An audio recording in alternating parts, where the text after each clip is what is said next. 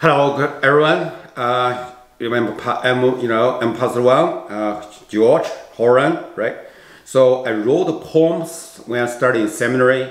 Uh, the time is roughly is in uh, 2012, 2013. It's a series. Uh, it's, but it's not so long. It's it consists of nine chapters.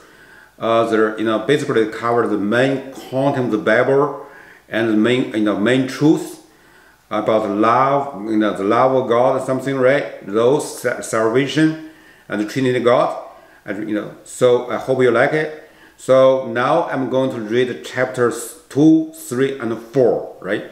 And though those three chapters part is short, but I think they're they're very essentially important and useful. So let me let me start, okay?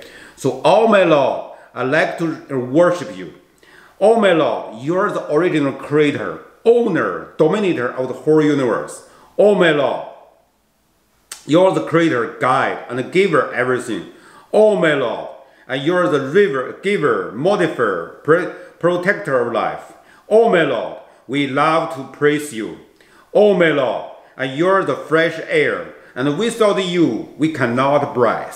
Oh my Lord, you're sweet, sweet drinking water, and without you, we will feel thirsty.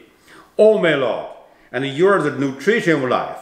And without you, we are drink out. Oh my Lord, we will worship you wholeheartedly.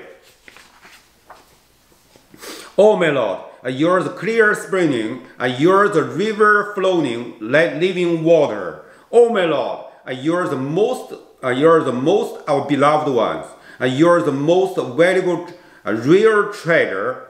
Oh my Lord, my law in the past, today, and forever.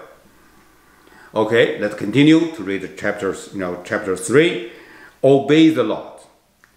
Oh, my Lord, I obey you, and your sword is so deep and broad, and your wisdom can penetrate the whole universe, and your mind can insight our hearts, and your great power is almighty, and can conquer any obstacles and your strength win over anything in the world. In the world. My weakness make me bend down under your feet. Oh my Lord, I would like to obey you, and please receive my obedience to you. Okay, and I will continue to read and part four and follow the Lord. Oh my Lord, I will follow you. Okay, and you're perfect, and your vision is so great and, and, and your vision is so good, and you're so knowledgeable. And you predict and dispose matters just like God you are. And your heart is so wide and that's superior to big oceans. And you're full, you're full of charity and love that cannot be beaten. And you're noble and kind. That's okay. Follow. Yeah. Okay. And you're noble and kind. You're so strong. Your power is endless. And we will, we will, we will win, provided we follow you. We're, we, uh, we will win, provided we follow you. We're not worried about anything, provided we follow you.